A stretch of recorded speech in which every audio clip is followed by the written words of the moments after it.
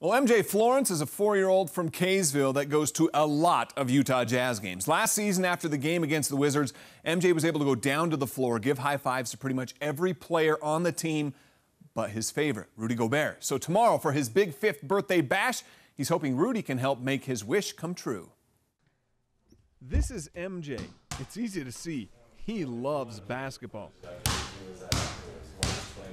He also loves the Utah Jazz. So when it came time to plan his fifth birthday party on Monday, he made sure to give it a jazz theme. Where'd you get that ball? From the arena. From the arena, huh? And he wanted to make sure his favorite player got an invitation. So without mom and dad knowing, MJ made this video. Hi, Rudy. This is, is MJ.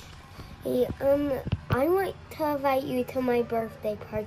Dad did help post the video, which now has more than 55,000 views. One of those views coming from Gobert himself. These are my invites. So, do you even want to fight?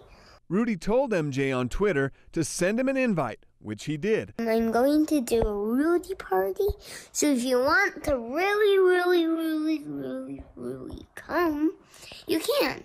So, Rudy, there's some cake, ice cream, a pinata, and a high five waiting for you at MJ's Big Fifth tomorrow.